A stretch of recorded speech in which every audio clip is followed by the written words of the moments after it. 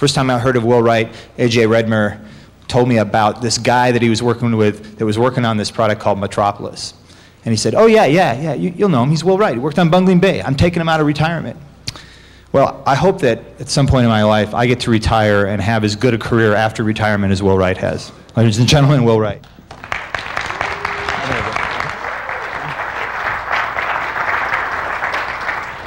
Hi, everybody. Thanks for showing up. Um, I was asked to come here and talk about this, if we can go to the slides. Uh, audience developed products, how to involve the world. They didn't tell me what it meant. They just said, come talk about this. So I've been trying to figure out what it means. So I started with this community, and uh, I've been working on this online game, Sims Online, and hanging out with a lot of online designers and consultants and stuff. And this is all they talk about. It's design, you know, community this, community that, community, community, community. And it, you know, at some point it just starts losing meaning to me. But uh, I guess it makes sense, you know, for them. What surprises me is that in the single player space, we don't see that emphasis, especially on the PC side.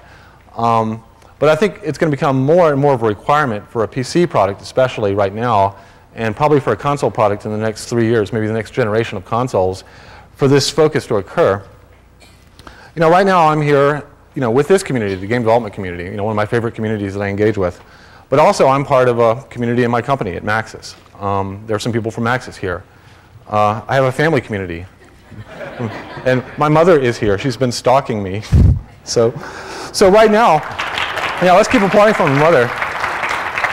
So it's kind of strange. Every community you belong to, you have a kind of certain context and role in that community. And so when you get caught at the intersection of two communities, it's kind of strange because you have one role in this community and another role in that one.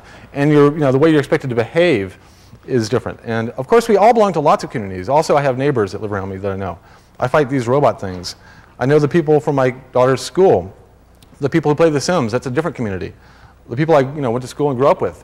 So all of us are kind of made up of these overlapping communities, um, quite a few in most cases. Now, a lot of our identity is actually wrapped up in this, not only the communities, but also just kind of aspects of our lives, you know, our jobs, where we live, the hobbies we pursue, um, the brands we buy a lot of these go a long way toward establishing our personal identity and also the way we map somebody else's identity. You know, we look at them and say, what do they like? You know, where do they live? What do they do? And that helps us kind of put them in this matrix of identity. Now, I always wondered, you know, how could you build a good map of these communities? You know, what's the what's some way that we could actually get a sense of what these things are? And the best one I found so far is a newsstand. You go look at the magazine rack and look at all the bizarre magazines out there and there's quite a collection of weird ones. Um, and you can almost, if I think if I had the subscription information for these magazines and the demographics, I could build a fairly interesting map of not only what the communities were, but how people crossed the communities and where the intersections between these communities were. Um, sometimes for Christmas presents, when I'm really lazy and bored, I'll go to the newsstand and I'll, for every person on my list, I'll say, okay, what magazine would they be the least likely to ever buy? Which magazine is the exact opposite of their interests? And then I'll get them a one-year subscription to it. And it actually it's a cool gift. And the cool part isn't so much the, uh, the articles in the magazine, but it's the ads in the back. You start reading about these bizarre things. You know, you can't believe that somebody would spend $50 for glow-in-the-dark fog lamp covers, you know, or whatever it is, especially if it's, you know, so outside your community. And it gives you an insight into the range, I think, of human interests. Um, so we're trying to build these communities. Um, right now, this is the current model for building them. You know, we sit there and we stitch together a bunch of parts, and then we sew it all up, and then, you know, at some point we flip the switch. And uh, like eight or nine times out of 10, the thing lays lifeless on the slab. Um, but that one time out of 10 where it comes to life, you know, then we, we, we feel like we have some semblance of control over it, but it's an illusion. And as soon as we realize it's an illusion, then we run, you know, run away from the thing. And uh, I'm wondering if maybe if we had a better understanding of what these things were, we could, you know, keep a little more control, except I don't think control is the right word. I think really what we want to do is just be able to predict how to nurture this, these things and bring them to life in a good, interesting direction. With games, I see games kind of in this space. I was trying to think of other communities that were similar to games, that had a lot of the same properties, and I see games being similar primarily to these three things, story, hobby, and sport. Um, from story, we get drama. That's kind of the activity of us participating in story the people in the story community, it's more about discovery. It's about, oh, did you see this in that movie? Or have you seen that you know, movie? You'd really like it. Um, with hobby, you know, the overt activity is creativity. You're making something. The community activity is learning from each other. People get together and say, oh, how'd you make that train set? Or how'd you, you know, how do you learn to fly an RC helicopter? With sport, you know, the overt thing is competition. We get together and we play these games. And the community activity is more skill-based. So as a simulation person, you know, I'm always trying to find ways to put formal structure on squishy things. It's kind of a macho simulation thing that we do. Um, and community is like really squishy. So I've been trying to figure out how to build metrics around this community space. And I came up with this, um, which I'm kind of working on. But you see that these three things are at the corners of the triangle. What's interesting is these things on the sides of the triangle bind the corners. So for instance, story and hobby roughly have imagination in common. You bring a lot of imagination to both of those activities. Hobby and sports both involve a lot of skill. And drama, I mean here in kind of a very loose way, more uh, dramatic completion. Um, in sports, you know, there's a beginning, a middle, and end, a resolution at the end. What's interesting are the orthogonals here. So orthogonal to sports is imagination. So really sports is about removing all imagination. It's not like, oh, I think you got a yard. No, I think he got two yards. It's about, you know, objectively figuring out whether he got the first down or not. So it doesn't have a lot of place in sports. Um, likewise, skill, you know, there's not a lot of skill to watching Star Wars, you know, to some degree. Um, you wouldn't know that talking to some of the members of the community, though. But now the hobby, you know, is really roughly lacking in drama. So I'm not, I'm not too happy about the drama here. I'm still trying to figure out where to put that. But, but then I thought, okay, with games out there on the market right now, where would I place them in this uh, landscape?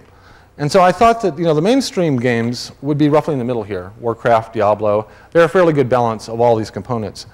Um, something like Riven, an adventure game, you know, the really heavy story-based games would of course be down the story corner. And the first-person shooters, I'm thinking, are more in the sport area, like Unreal Tournament.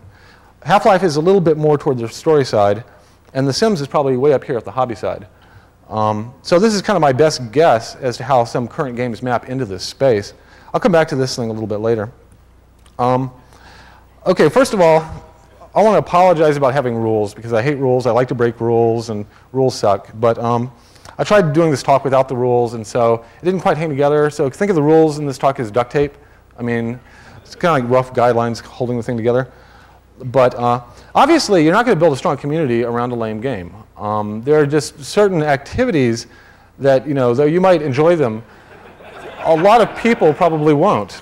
So um, the first step in building a good community is finding some activity that you think you know, will cross a wide boundary of interests. Um, another way to look at this is that suppose we have a bad game, a good game, and a great game. And let's just suppose that if we put a lot of effort into community building, we could get a 10% boost out of, that, you know, out of the sales of that game. Now you see here that with the bad game, that 10% boost adds up to nothing. But with the great game, it's actually pretty significant. You know, it's worthwhile spending and investing time, money, and effort, you know, building up that community. Um, but of course, this isn't really the case. In fact, it's, I think, much more like this. Because community has this property where it starts fueling its own growth, and you end up with a much more of a compound interest on it. So in fact, I think you would get far less than 10% boost on the bad game, and far more than 10% on the great game. In fact, you know, on the great side, I think community has the ability to boost your sales by, you know, double or triple. I think with The Sims, we built a good game that got the thing to probably a million units, but really it was the community that sold the next four million. So sometimes the leverage you can get from these communities is absolutely awesome. Um, this is uh, kind of another view about why this happens, and this is because I've spent too many of my years working on SimCity. But uh, in city development, there's kind of this model that cities are fueled by industrial growth at the beginning. Over time, commercial growth comes in, takes over, and there's this very rapid phase transition. And most cities go through this stage where they grow slow, grow slow, and then grow very fast. Um, kind of another way to look at this is that you have people coming in to work at a factory, and those people need to, you know, buy something at the general store. And so a couple little commercial things come in. But now as those commercial things come in, of course, more people have to work there. And as those people come in to work, you know, the population that has to be serviced increases, so more commercial grows. So you get this kind of self-fueling growth here on the commercial side. And here, roughly, the industrial represents our games, and the commercial represents our communities. And so that kind of helps understand that a little bit. Um, Floyd actually understood this implicitly. He spent a whole episode once trying to get an opera in Mayberry to no avail. So he, he's like my hero. Okay. Now this one, uh, don't ignore the metagame. Um, this is kind of what the community does. Uh, so we make a game, Sims, um, but outside of that game, outside the gameplay, there are a lot of other things happening. We had uh, events. We have events every Thursday that people come to our site and there's a new download or something or a contest. Um, we have these free objects they can download into the game to expand it. We have, of course, the expansion packs that are out on the market. We have player tools that people can make things with. Then there's player content. Even if I don't make stuff, I can go download it into my game. I can then take that and make a story out of it and put it on the websites. So all these things basically add up to the metagame for The Sims. It's all the stuff that's happening outside the game. Now, you know, you can kind of sit back and wait for that to happen and expect the users to figure it out, or you can make it happen. You can try to imagine what this metagame is going to be and really make it, facilitate it down the road for the players, and you have a much higher likelihood of achieving it. Um, jumping over to economics a bit here, uh, you know, certain items actually have more value because of their scarcity. Um, but there are other items that actually have more value with, you know, there's more of them around, more of them are available. Uh, infrastructures tend to have this property, a utility value. Um, if you have just two phones in a you know, group, they're not very valuable. But as you increase the number of phones, the number of possible calls that can be made with that phone goes up. And if you'll see the number down here, it goes up dramatically toward the very end.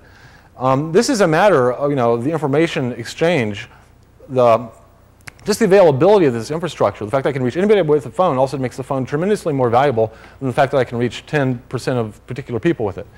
We want this property in our communities. Um, not just from the metaphor, but literally, we want to have very dense information exchange within the communities, and we also want to have very low friction. And we're lucky enough to work in a medium where we're dealing with information to begin with. So we're not having to, you know, rent a truck and send our friends these cool things we've made. You know, we just send it over the net. Um, with the very first SimCity, you know, I, I, noticed that people liked playing the game and liked the challenge of the budgeting and all that, but a lot of other people really like the open sandbox feel. So we put this in. This is a cheat code in the original SimCity that gives you unlimited money, basically, and you can build whatever you want. Um, later, you know, this is kind of pre-internet. I was going out to like AOL, CompuServe, Genie, these things, and looking at all the message boards. And something like 40 to 50% of all the messages in the SimCity threads were about these five bytes of data. Okay, so we had like five bytes of data, and those five bytes, you know, exploded on the net into this huge amount of connectivity between the people. They were driven to go on the net to go find this code, this hidden code. And you know, once they found the code, you know, they got to the net, found the code, talked to people, and they started talking about strategies of the game and building up places to upload cities and all this stuff grew out of just this one thing. These five bytes, you know, just exploded into this whole universe. I went and I started uh, looking at some of the old Usenet archives on Google. And I thought it would be interesting to track the message traffic for certain games, just to get a sense of what the shape of these communities look like over time. Um, this is black and white, and this is actually out of the Usenet uh, black and white news group. Um, and this is a fairly, fairly, characteristic profile of the games I studied. Um, you can see the release date, it's pretty obvious.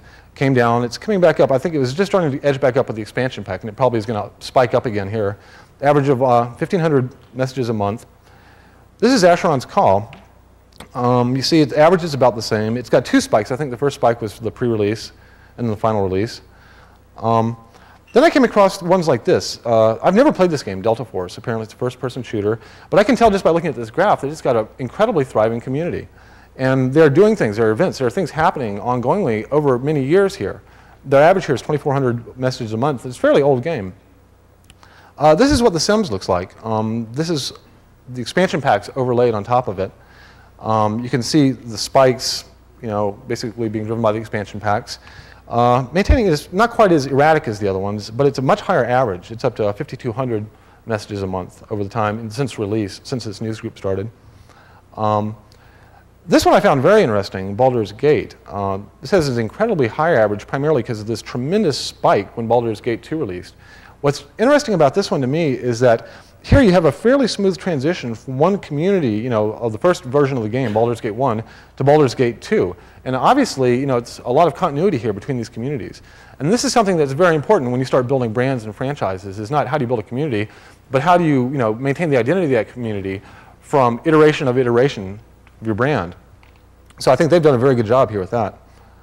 Um, another way to look at this is we've got all these communities out there, you know, that our games kind of encompass.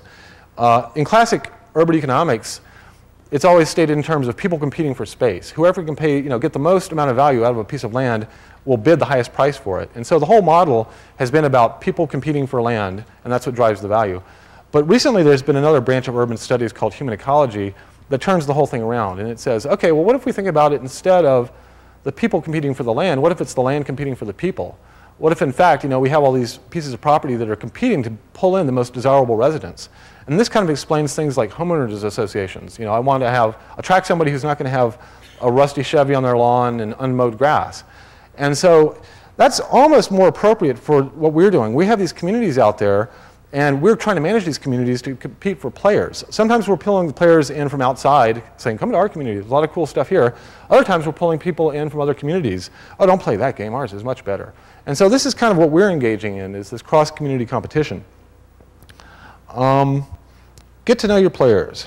Um, this is about really investigating in the communities why people are playing your game, you know, what motivates them, what they're doing with the game, and especially the unexpected directions that they're going that you, you, know, you didn't foresee at all, but you could actually help a lot. There are a lot of things you can do like that. Um, in some sense, it's kind of like anthropology or archaeology in that you go on the net and you're kind of analyzing these artifacts, these web pages, these objects they've created, and trying to understand who were these people, what were they thinking, what were their motivations. You're trying to get under their skin. Um, we have a tremendous tool available to us as game designers, and that's metrics. In every Sims file that uh, the fans have uploaded to our site, and there are like 40,000 of these, is embedded a history of how they played the game. And we're going back now and we're analyzing that history. Um, and it's you know, what they did every day, what they bought, uh, how big their house is, how many friends they had. What you're seeing here is actually a graph of like 3,000 players moving through this game space. So one axis here actually represents how much money they had, another one was how big their house is, and another one is how many friends they had. They all start um, down in the bottom corner in the blue. The color actually indicates how many days they've been playing the game, in sim days, not real days. Um, so we're getting a sense here of which portions of that space that they're finding the most interesting. If you take one path of this space, there are lower level features, like you get these spirals almost for everybody, and the spirals represent them working, working, working, spending all the money, working, working, working, spending all the money. And it's like a two-day cycle that most players go through. Some players are doing it like on a five-day cycle. And so there's some really interesting things we can learn about the players, you know, just through metrics like this. But there's really no um, good replacement for actually going out and meeting them face to face. We, uh, after House Party, which was one of our expansion packs, uh, we did this party, this open invitation party. We said, anybody who wants to come, we rented out a nightclub in San Francisco, and it wasn't like a convention or anything. It was just like a party, and we all got together with our fans. Um, and we had a lot of the House Party characters there. This is the serial mime, which appears in House Party. He goes around, you know, ah, ah, ah, trying to kill people. But um, anyway, it was, it was very impressive to meet this group of people because you think of these as like data points or, you know, uh, demographics, you know, are you male, female, what age group? But you see them coming together, and I, you know, things that the metrics never captured were the fact that people were playing this as families, and a lot of families came in with their kid, and you know, the whole family would play it together. Um, there was one couple, and it was uh, like a 12-year-old girl and her grandfather, and it was their primary kind of social activity together. And you realize that this game, you know, it wasn't so much about playing the game, but it was more about having this kind of community experience with each other for a lot of the hardcore people. I say hardcore, these were not hardcore gamers, almost none of them were but they were hardcore Sims fans.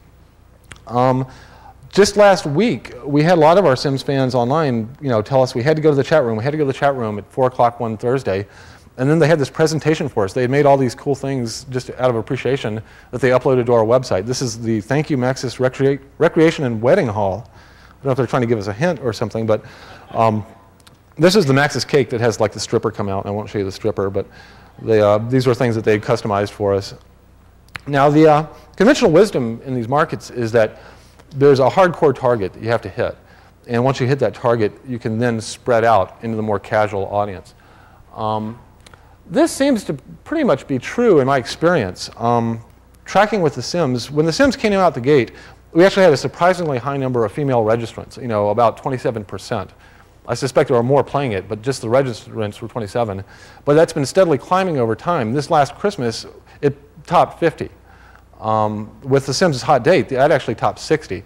So we're, you know, for me, this is a really good graph of this. You know, how far are we getting into that casual market? Um, there actually, you know, people keep asking me how many expansion packs we're going to release, and we just realized something that's uh, kind of a bummer. Um, each expansion pack you know, we have to test with all the previous installations, right? So with the first expansion pack, we only had one thing to test. With the second, we had to test it with and without. And so each version is an exponential larger testing load. So we're approaching the point now where the testing cost of these is exceeding the development budget, which is uh, probably going to put some kind of limit on what we can do with these. Uh, now, when people come into these communities, another way to look at it is they're climbing this ladder um, of advancement. Um, they're working out, you know, start, starting as casual players, then they might start collecting some stuff off the web. Um, if they really get into it, they might uh, become webmasters or even creators of content. In fact, there are many more things that I'm not showing here, many levels between here. But think of it as ladders, I mean, rungs on a ladder, and you want them to climb that ladder. Now, you don't want the rungs too far apart. I mean, if your only option was to play the game or do a, you know, full-scale mod in C, that's a pretty far rung to climb. So what you want to do is figure out, look at every step that they can climb into the community. And the first rung really is the most important. You want them to climb that first rung and then if they make that effort, they'll generally make more effort to climb the second rung. So this is kind of one way to get them incrementally pulled into the community. Um, this is one view of the Sims community with rough numbers that I'm kind of guessing at. You know, 5 million casual players at the bottom, kind of working your way up smaller and smaller. In this pyramid, you know, every level is dependent on the levels beneath it. And the levels beneath it are actually fueled by the levels above it. So in other words, the larger the top of the pyramid is, the more casual players get sucked into it. The more value has been added. Um, and the more people are at the bottom, the more recognition the people at the top get. So at every stage here, there is conversion rate. You know, how many of the casual players can we convert to a browser? How many of the browsers can we convert to a you know, collector?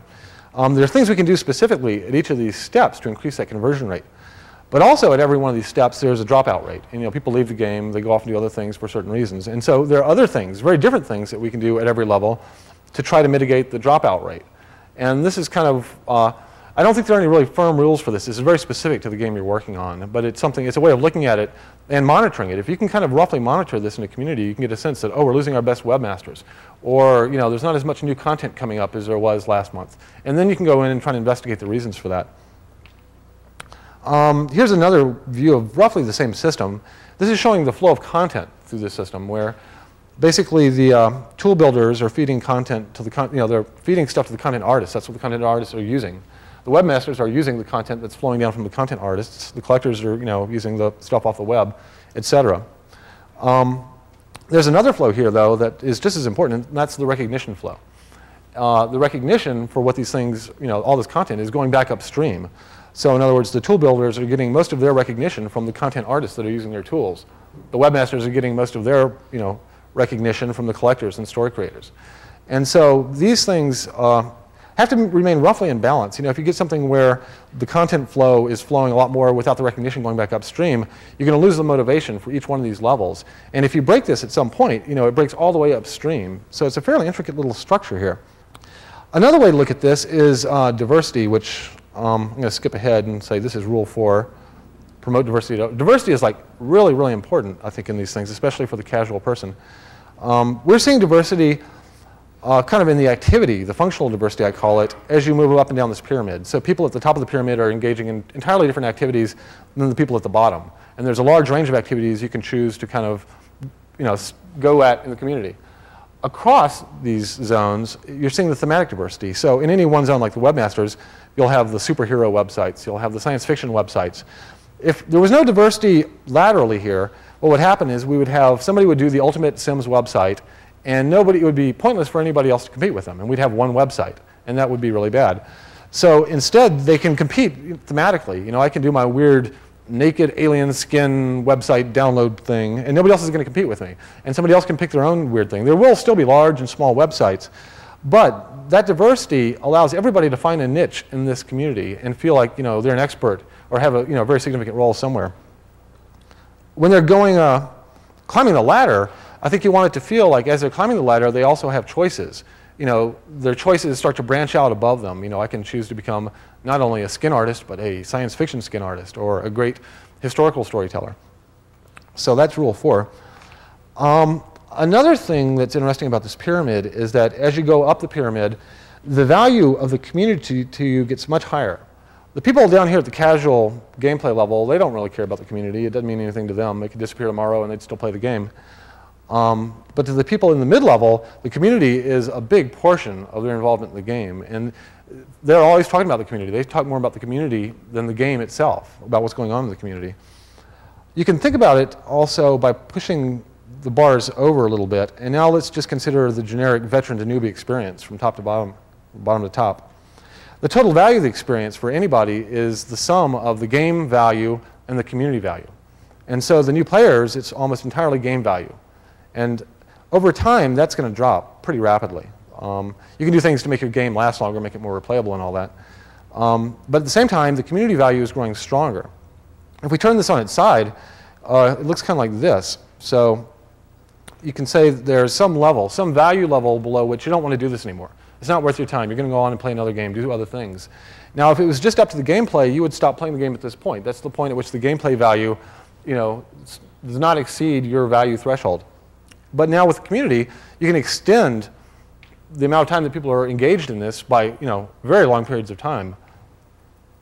And again, the value of that, you know, the value of having the topper, the top part of your pyramid heavier is that you're still pulling in more players. It's a sales tool, you know. It brings in more sales off the shelf. I think different games probably have different profiles like this. I think The Sims has probably a very broad base, uh, kind of tapering to the top rapidly.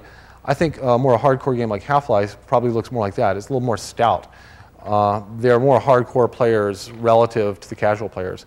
Some games, as they mature, actually end up doing something like this, where the veteran players start exceeding the newbies. And I think some of the older online games, you're starting to see this dynamic. Uh, occasionally, you'll actually get something where the whole thing just snaps off and floats off as its own little bubble universe. Um, and in fact, like the Quake movie community is very much that. You know, the Quake movie community became these hardcore people up at the tool side that eventually decided, oh, we don't give a damn about Quake anymore. We're going to go make Quake movies. And so that will happen too. And that's, that's, that really fascinates me. So back to our graph here. Um, this is kind of where I'm guessing that these games fall. And I began wondering, you know, is there some way I could build a real map of this? You know, are there some metrics I could apply? And so I gave it a shot. Um, I took out my trusty search engine, and what I did is I searched on these terms. I put in like Diablo, and got how many searches, you know, did I hit with Diablo 2? And then I went back and I did how many searches does Diablo 2 plus community hit, and looked at the ratio. And I did this across several games. I won't go into the details of it, but I ended up finding a technique that worked pretty well to allow me to map this. Um, I found terms to try to pick each corner of that triangle. These terms work fairly well for sport, win, compete, team. For hobby, it was collect, create, download. For story, it was story, ending, and plot. Um, so here's our graph. This is what my guesses were, and this is what I actually measured. Diablo and Warcraft actually were pretty close to what I had guessed, uh, almost in the same relationship to each other. Riven, just about right on. Unreal was kind of surprising. It was much more to the midstream than I thought. Uh, the Sims was actually a little more towards story, but I probably should have expected that. And Half-Life was much more over to the sports side. So actually, I was pretty happy with this. You know, I felt the fact that I was getting that from such a simple analysis, you know, implies to me that I could eventually develop a fairly interesting metric for mapping these communities in the space, or at least relating them to each other, getting a sense of how the communities were, uh, what they were interested in. So I kept going with this a little bit, and I started trying other things. I decided to see if I could measure how connected these communities were internally. And I tested these words, affiliates, community, WebRing, guestbook. And, uh, and this one, it seems to indicate The Sims is the most connected, followed very closely by Half-Life, with Riven being at the bottom. Um, this is for discussions. I was trying to figure out how much actual talk was happening you know, in these communities. And this one, Diablo 2, by far seemed to be the most verbose community out there. And oddly enough, Warcraft 2 was very low, and I'm not quite sure how good that result is. Um, this one is for data transfer. I tested these words to try and get a sense of how much the people in these communities were sending data back and forth to each other. And the uh, first-person shooters, you know, way up there high, um, at the bottom, which is kind of expected. Um, then I started doing word pairs. You know, just saying how many times does addictive show up on the Sims and how many times is boring and divide the two and compare that to ratios of the other ones. Um, Warcraft 2 ended up being the most addictive one on this measure. Um, then I decided to get a little weird. Uh, so from, from this, I can kind of discern that Sims and Riven players overlap very heavy with the Bible Belt or something. Um, what surprised me here was that Diablo wasn't the most satanic game. It was Warcraft. Um, then I tried Love and Hate. Um, now, I, I, can only assume that they mean love for the game and not in the game, because Unreal Tournament's at the top. Um, Sims, surprisingly, is midstream there. Now, the next one, actually, as the designer of The Sims, I find quite disturbing. Um, I did the Britney Spears to Rambo, uh, but,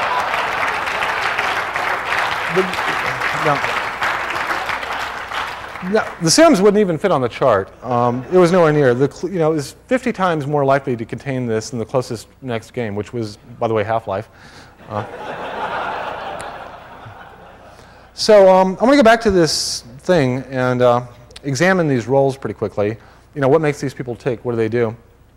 Um, the bottom of the rung, casual players, performers, players, uh, this is my niece, and every time she comes to visit, she likes to play The Sims. And what she does is she sits there and plays The Sims by herself for half an hour, and then she comes and drags all the adults and says, look what I made, look what I made, and watch what I can do. And so she actually builds this performance. And she's back there kind of working on her skills and her designs and whatever, and then she wants to show it off. So for her, she, you know, I think she treats this as like a musical instrument. And she's trying to show us her proficiency and skill at playing this instrument. And uh, so these people are still creating content. Even though they're casual players, they're creating content for a very small local group, even though they're not online. Next level up, we're the collectors. Now, this is the largest tier of people that we want to bring into our community. The very first testers we brought into the game, these were non-gamers. We would bring them in for an hour and watch them play the game and just sit back and observe them. And they'd be sitting there and sitting there, and about 40 minutes into the game, we'd realize that they hadn't left the buy mode of the game. And they were just sitting there looking at the catalog, trying to figure out which couch to buy, and we kept saying, oh, well, don't, don't, you want to play with the people? Don't you want to play the game? Oh, I've got to pick out the right couch first. And these are people that didn't play games, okay? So they weren't really comfortable with menus popping up and things happening. But once they got to the shopping and realized it was shopping, they got that. I mean, they got that just down cold. And it was like a point of comfort for them, you know. They were very comfortable and secure just, you know, picking things out of a catalog.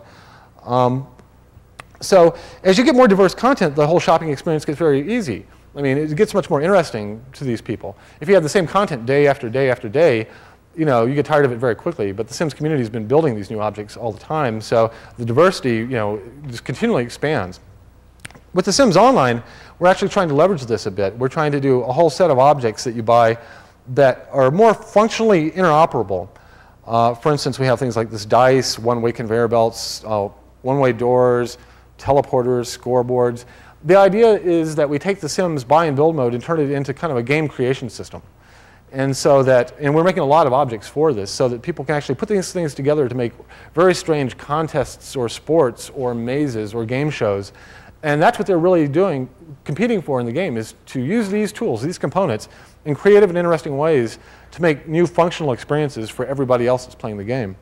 Um, on our website, you know, from day one when we did The Sims, we started having these new objects that you could download. And this is kind of meant as a funnel, you know, to get people used to the idea of downloading objects into the game. Because for a lot of people, casual gamers, it's you know, a very foreign concept to them that you go somewhere else to get components for this game that you just bought. The first thing we did, we didn't tell anybody what the cheat code for The Sims was. Our first object was a cheat object. So if you wanted to cheat in The Sims, you had to come to our website, register, and then download the slot machine. And the slot machine worked, you know, it was pretty much even odds unless they were in a bad mood. Then the odds went way in your favor.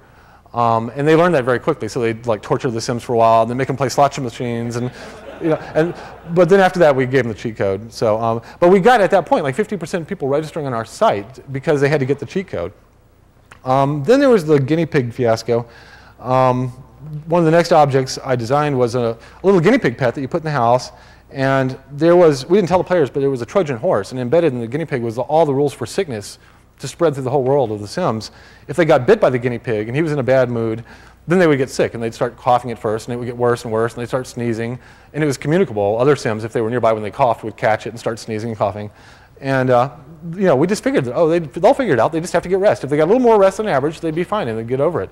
But of course, they were freaking out and having the Sim try every last thing and so they'd get no rest and so all their Sims would die. And there was, I mean, the BBC covered this. I mean, you think they'd have better things to report? Um, so the collectors, they also, they're very much into the thrill of the hunt. You know, they'll get something in their mind that I have to have all the Star Trek skins, and they'll go out there looking for it. You know, as soon as they get them, they'll just put them in a directory and forget about them.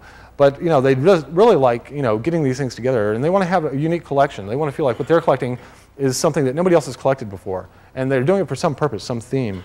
Um, when they're shopping, you have you know, large stores, small stores. People are comfortable in different types of environments. Some people like shopping in little boutiques. Other ones want to be in these mega stores and bring home like you know, Costco quantities worth of material into the game. Some of our players have actually reported they have over five gig of downloads on their hard drives now from The Sims, which is scary. Um, also, when you're in this behavior that these people engage in, a lot of it actually, they say they're shopping, they say that they're looking for the you know, Mr. Spock skin, but really what it resolves to is a quest through social space is what they really want. What they really want is some purpose to then go jumping around and surfing the fan sites. You know, the, it's all in the journey, it's not in the destination. And they end up tripping over all these cool, interesting things that they otherwise would never have seen before. I mean, I was in San Francisco the other day, and it's the same thing. I was going to buy an anniversary present for my wife, and I didn't really, I wasn't so much into that, but it gave me a good excuse to go to all these places and visit all these things. And, you know, just the quest was uh, the real activity that I was into. So that, I think that's like a lot of the underlying motivation of these shoppers. The next group are the storytellers. Um, we had a lot of testers that were playing the game actually telling stories to themselves as they were playing it, so we put in the storytelling functions. Um, when the game released, I was on the Usenet reading the comp.ibm strategic group, you know, which is the hardest core of the hardcore gamers. And most of them were saying, oh, it's a Barbie game, it's a Barbie game, I'm not going to buy a Barbie game. But a couple of the people in the group went and bought the game. And then they started writing, you know, what they did in the game. Oh, yeah, I bought this game, The Sims, and I did this guy, you know, this guy starved, and then his house burned down, and then the people came in. And the stories were just hilarious. They were just crazy, hilarious stories. And then uh, the other Usenet guys, you know, people started posting results, you know, I loved your story, great, great. And then some of the other hardcore guys went and bought the game because they didn't enjoy the game so much as they enjoyed having this social currency on the Usenet. People were finally reading their posts because they had these cool, crazy stories. So for them, you know, it was all about the social currency that the game bought them in this environment in their community. Um, we, of course, have this uh, thing on our website where people tell stories upload them and people can score them. And so there's a whole competition on our website of people doing storytelling competitions. And there's like 30,000 of these stories that people have uploaded, and some of them are really wild. Some of them are very touching. Some of them are very autobiographical. Um, some of them are very dense. This is like you know one page of an 84-page story, and the whole the entire thing is part four. Okay, so these aren't tiny little things anymore. They're like small novels. Uh, some of the people are just, you know, this has become their tool for creative expression. And, and some of the writing is actually not bad. I mean, some of these things are actually, you know, 2% are not bad. And uh, the real inspiration for a lot of this, of course, came from Quake. You know, I think Quake, you know, in my mind, was the groundbreaker here. You know, both with the community and then later, like the Quake movies, where people were doing storytelling with Quake movies. You know, has always been just amazing to me, and I'd like to find a way for that kind of that level of activity to reach a wider audience. Um, the next group we'll look at here are the webmasters. These are the people that uh, build the million, you know, about a thousand Sims fan sites out there. They're the most visible and influential aspect of our community, you know, to everybody. Um, one thing we noticed uh, early on with SimCity, we had this area on SimCity where we could let people come up and download or upload all their cities and things that they created in SimCity and download it. So there was this giant repository of stuff um, where every city that anybody built was on our SimCity site. You know, we thought that was a great idea. Turned out it wasn't. Um, we found that what happened was we had this huge amount of content on our SimCity site, and the fan sites didn't really have much to do. So they kind of wrote you know, tips and tricks and strategies and sheets, and that's about all they could do. So with The Sims, we decided to go with a balkanization strategy, and uh, basically certain content we would just not put on our site. And that opened this huge amount, this huge niche for the fan sites to come in and occupy. And because of that, The Sims fan site landscape is far larger, far more diverse than the SimCity one. Because if you want downloads, if you want skins, they're on the fan sites. And the SimCity, I mean, the Sim site does certain things. We have the stories up there and a few other things. But really, we let the fan sites carry that load. And by giving them that opportunity, that burden, they've thrived. Now, some of these fan sites, you know, obviously they'll do fan sites where they, you know, crossing of interests. It's Sims plus whatever they're interested in. This is Sims and Pokemon, uh, Sims and superheroes um, Sims and historical. Uh, it's also, The Sims was thematically neutral. And again, diversity, I think, is a huge theme here. This is a Christian site built around The Sims. Um, they were able to you know, push it in that direction, and this is kind of what they were able to do with the game. Um, they're the very kind of uh, mainstream sites, you know, which this is kind of a very representative sample of what the mainstream sim sites look like. Um, then there are, you know, of course, the fringe, bizarre sites. This is a Japanese sim site and apparently it specializes in famous politicians and nude skins. And th that's all it's got. And I'm not sure if it's like a social statement, but it, I think it is. Um, then we have the mega sites, you know, these gigantic sites that are out there. This is the Sims resource. They have like 10,000 skins, you know, thousands of objects, and you could spend just hours and weeks here looking at all the content and not see it all. I did a search on this, and I was kind of curious, what was the most popular content on this? You know, see if I can get some insight into our players. And again, uh, the result was Britney Spears. Um, this site literally has hundreds of Britney Spears skins. I mean, every single appearance she's ever made in any outfit she's ever worn, it's on here. This, uh, the webmaster a couple months ago, he put a plea on the front page of his site. Please stop uploading more Britney Spears skins. I've got enough. And, and they ignored him. They're still uploading them. So I think there's a strong crossover here between our fan bases or something. Um, other fan sites are doing like new games. This is a survivor game that they run using The Sims, and they actually vote on who to kick out of the island. Um, there's a murder mystery here. This one's actually very well done. It's a murder mystery, but also all the evidence is in objects that you can download into your game.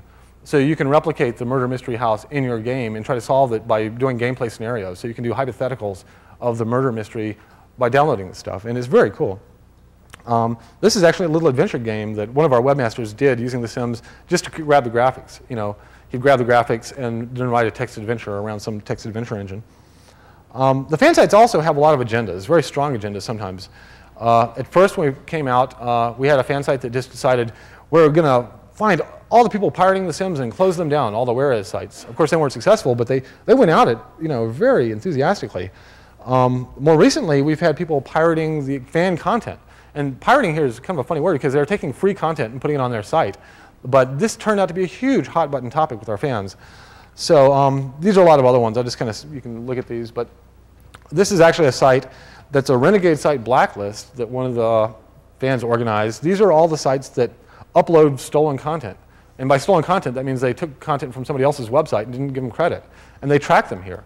And so there's this kind of organized vigilante posse on the net right now that's going around self-policing itself. And it's great that they're doing that because it's the last thing in the world we want to be doing. Um, so when we released the game, we had, you know, a few sites that came out. Um, over time, six months later, they grew. We had some, you know, a few larger sites that grew on top of this. Um, about 12 months later is when these mega sites really started to appear. And uh, that's about when this became very appropriate to what happened. Um, at this point, uh, we were getting huge bandwidth problems with the sites because these sites were getting so popular, the fan sites I'm talking about.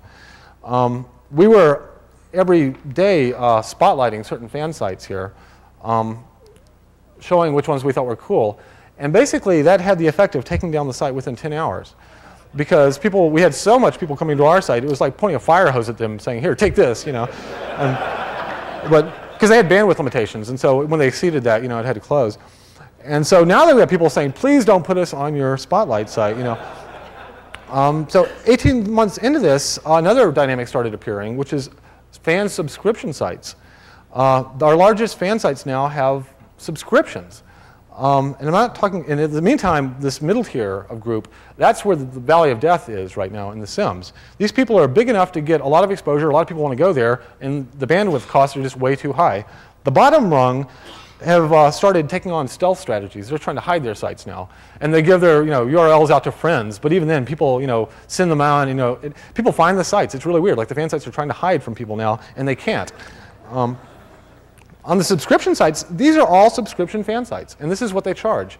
And this might look crazy, but I talked to a few of these sites, and they are getting thousands of subscribers each. And for the players, it's you know worth their money. It's it's absolutely amazing. Um, so people are, you know, running full. When we actually had to do kind of a loophole in our licensing to make this uh, happen. We wanted this to be available rather than have these big sites come down. So basically, they can sell bandwidth access to their site, but they can't sell content, individual content from their site. And so that's kind of this loophole that we let them uh, do this under. Some of these sites are actually doing fairly elaborate advertising campaigns against the other ones. This is actually a comparison chart of one fan site and why it's so much better than the other one. Um, and then, of course, this is the Sim, which is kind of like this, the Sim version of The Onion. And they parody the Sims community all the time. There's a weekly The Sim. And of course, they made a big parody about this guy's advertising chart. But uh, so I'm going to go through this part pretty quickly. Customization, creators, um, industrial age, mass production, yada, yada, yada, subdivisions. You know, we kind of lost control of our our products around us. Everything we see around us is something built by somebody else, and we have no idea how they built it.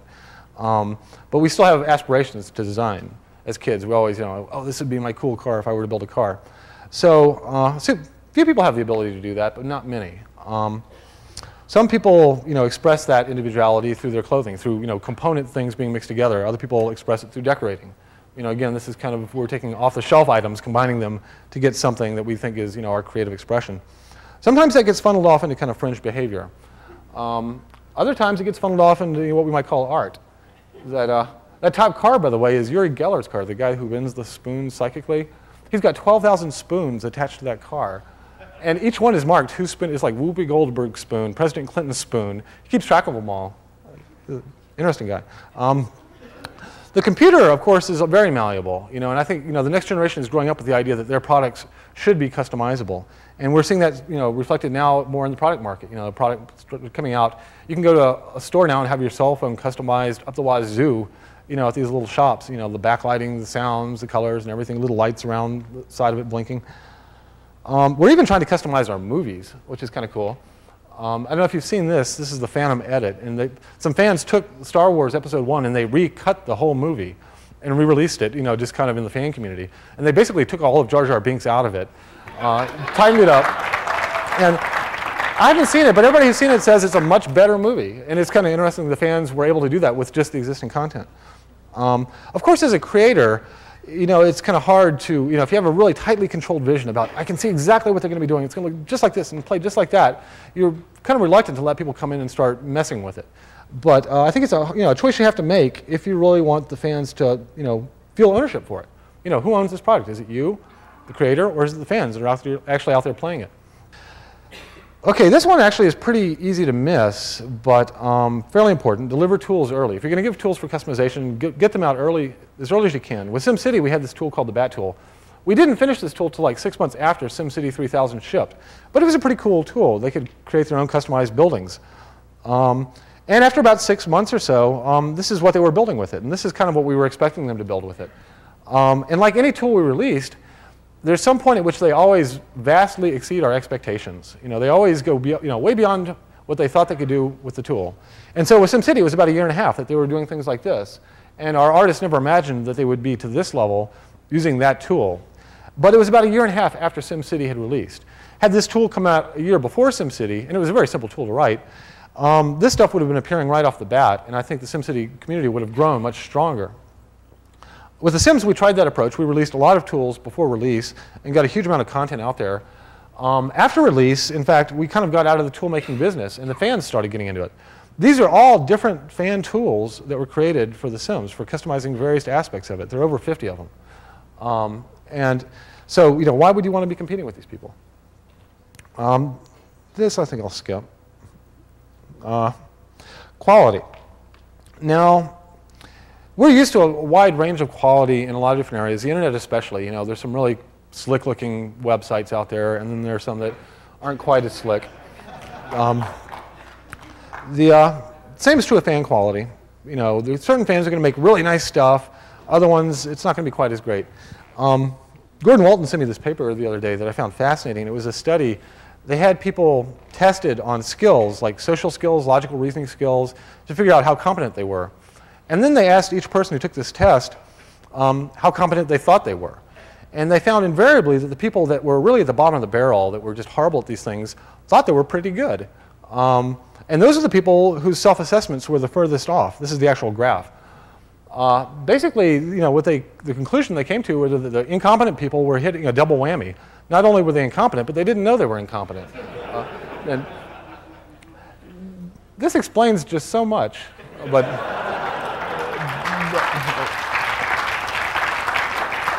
but, but this is also what you want to hide from your players using these tools. You don't want to point, you know, rub, rub, their nose in the fact that their skin sucks.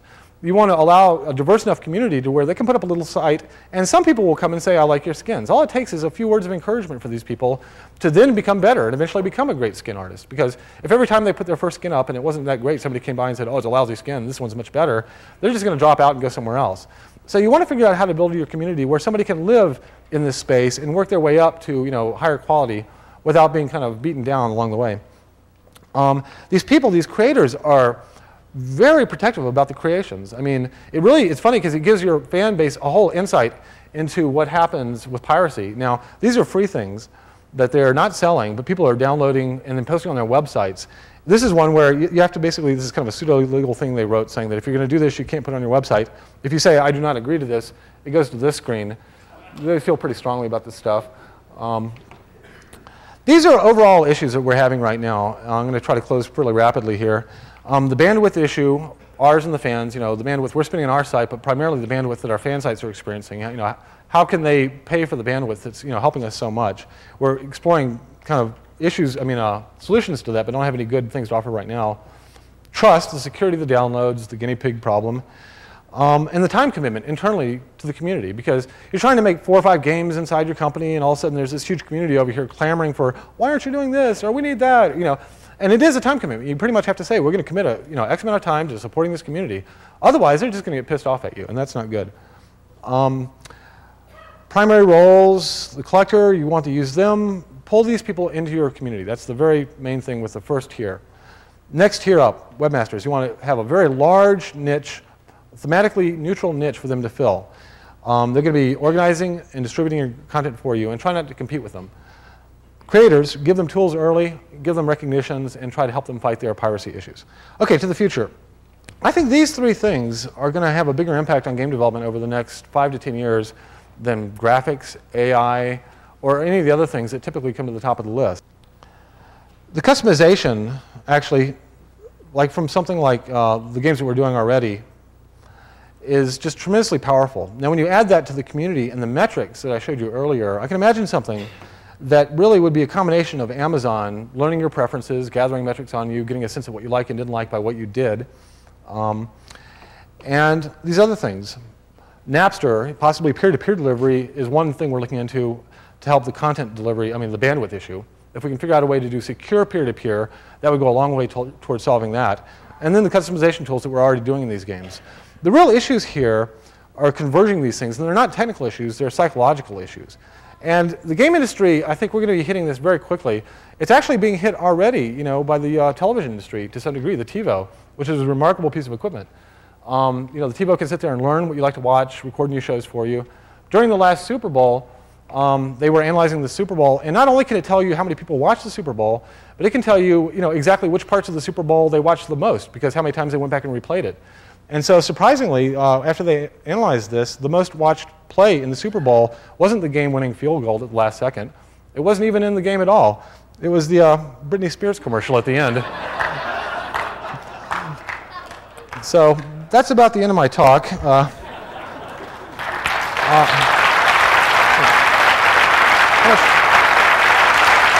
time for questions? Okay.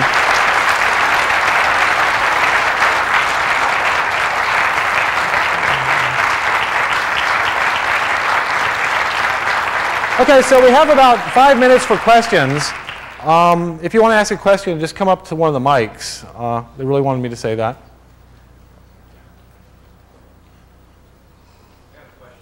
Sure. At, at, Disney Interactive, we did a roller coaster game where we allowed people to post onto uh, the website and then rate the coasters. And we found an interesting situation where we had a lot of sort of outlaw behavior where people would be saying, oh no, I'm not doing this thing, but then rating all of their competitor coasters really, really low so they could sort of win the weekly award. When you mentioned earlier that you didn't really want to sort of get into those sort of security issues, I'm wondering if you had any comments on, certainly, yes, it's a very tricky problem and it, it created a lot of interesting rifts in the community, especially if it had been sort of revealed on what some of the people who are complaining mostly about it were actually doing.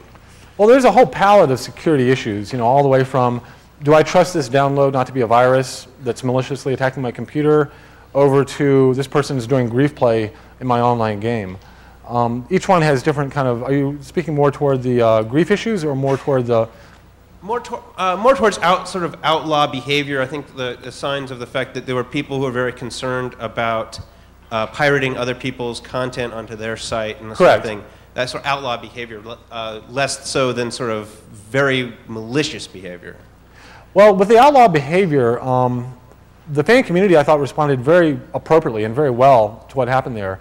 And it was a huge issue for about three months in the community, and then it kind of stabilized. And then at that point, anybody who dared to do this would have the wrath of the community come down on them very swiftly. And people had kind of appointed themselves as the guardians of that, and they would be surfing the sites and identify them quickly. That's where the blacklist thing came from. But there are other things where the security is not possible without us doing something on the technical side. So if I wanted to have you create an object and have it shared around the community peer to peer without you controlling that distribution, you would want to put recognition that you made the object in that object. And that requires some technical security that somebody can't then come pull your name out and put their name in. And so that's the thing that I think we're working to solve. Thank you. Sure. Have any decisions been made about how Sims Online will be priced? Uh, right now, we're still kind of uh, planning on the standard model, which is you know a box cost off the shelf and a subscription fee. Um, we haven't committed to anything at this point. Do, Um, do you have any fears that that may be uh, daunting for casual gamers? Tremendous fears. Yeah, in fact, that's one of my biggest fears about the whole project. Um, I think what we need to do, although somebody pointed out already that um, for the most part, our players are already subscribing to it. If you look at the cost of our expansion packs and the percentage of people that are buying them, and it's a huge, you know, uh, tie rate with the expansion packs, most of our players are already spending over $10 a month to play The Sims.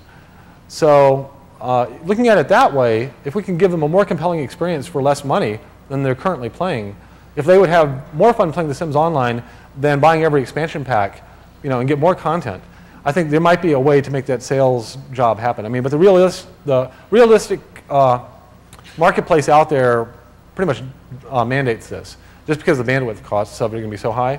Um, I think at some point maybe the box price could drop away. Uh, we're really interested in people staying in long term for the subscription. Okay, any more questions? All right, well, thanks everybody for showing up.